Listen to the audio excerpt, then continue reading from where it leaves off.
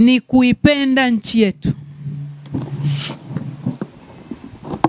Najua ziko nchi nyingi, yako mabara mengi. Leo asubuhi nilikuwa nasikiliza taarifa na, na wanasema kwamba kuna bara lingine sio litazaliwa kutoka wapi, sio na bahari zingine zitazaliwa kutoka wapi.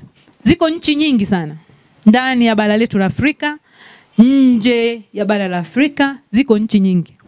Hivi uliwahi siku moja kujiuliza kwa nini ulizaliwa Tanzania? Uliwahi kujiuliza kwa nini ulizaliwa Tanzania? Kuna mwingine anakuambia mi kwangu bongo bahati mbaya sana. Kuna watu wanasemaga, si ndio? Mliwahi kuwasikia wanasema bongo bahati mbaya, yaani mimi staili zangu hizi mimi wa majuu. Wewe unafikiri Mungu alivyokufanya uzaliwe Tanzania alikuwa hajui kama kuna majuu? Alikuwa hajui kama kuna Ulaya? Tuna nchi moja.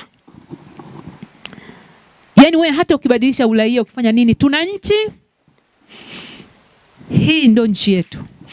Tuipende nchi yetu, tuiombee, tuiombee, tuiombee nchi yetu ya Tanzania, tuiombee iwe endelee kuwa na amani. Tuna sifa nzuri ya kuwa kisiwa cha amani, lakini tuombee nchi yetu iendelee kuwa na amani. Tuombee viongozi wetu, tuombee viongozi wetu, tusiingie kwenye mikumbo ya kusema sema vibaya viongozi, kusema sema vibaya hivyo. Ombea viongozi wetu, wale ndio wako kwenye mamlaka, na hakuna mamlaka ambayo ipo ambayo Mungu hajaibariki, yaani hajatoa kibali ile mamlaka iwepo, si ndio hivyo jamani?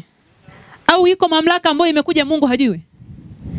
Mamlaka zote ni Mungu amepanga, na ukishajua hilo unachapuka chapu kuanza kuombea ili Mungu abariki viongozi wetu, Mungu awalinde viongozi wetu, Mungu awasaidie kunani kuiongoza nchi yetu vizuri, ili tuweze kufika mahala mahala pazuri. Kwa hiyo kwetu sisi tuna jukumu kubwa sana kama watumishi wa Mungu kumwombea Mheshimiwa Rais wetu, kuombea makamu wa rais, kuombea Mheshimiwa Waziri Mkuu, kuombea viongozi wote wote wote unaowafahamu wote, hadi viongozi wa kitongoji unachokaa wote, kuombea, kwa sababu wote wale wanafanya maamuzi. Kwa hiyo ili aweze kufanya inavyotakiwa, maanake anatakiwa kuombewa ili Mungu aendelee kumuongoza ili aweze kusukunani kuweza kufanya vile ambavyo Mungu anataka. Kwa hiyo nawasihi sana tuendelee kuiombea nchi yetu, tuendelee kuombea amani, tuendelee kuombea mshikamano, tuendelee kuombea uchumi wetu, uchumi wa nchi, uchumi wa mtu mmoja mmoja.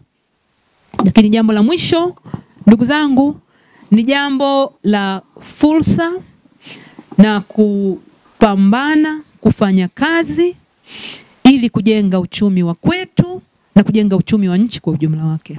Mkoa wetu wa Songwe ni mkoa ambao unazo fursa nyingi. Fursa ni nyingi, fursa ni nyingi. Kwa hiyo ni wasihi sana kuhakikisha kwamba hata kwa udogo, kwa uchache, jitahidi unalo jambo unalolifanya kwa ajili ya kuingizia kipato, iwe ni kilimo, iwe ni nini, iwe ni nini, uwe nalo jambo la kulifanya ili uweze kuingilia kuongezea kipato. Mungu habariki kitu ambacho hakipo. Hivi unaweza kusema kwamba bariki kazi, hata kazi huna ya unaoifanya hapo, labda unalima, si unaanza unalima, ndio unamwambia Mungu abariki sasa pale u, u, u, uvune vizuri, mvua zisigome na vitu kama hivyo. Si una, unalo jambo ambalo unaloanza nalo, lakini huwezi kukaa pale Mungu sio ashushie wapi hizo baraka. Lazima jambo liwepo unalolifanya. Mimi ni wasii, tuendelee kujitoa, tufanye kazi, tuendelee kukamata fursa zilizopo ili ili tuweze tuweze kujijenga sisi kiuchumi, lakini kujijenga kujenga uchumi wa mkoa wetu na, na uchumi wa, wa nchi yetu.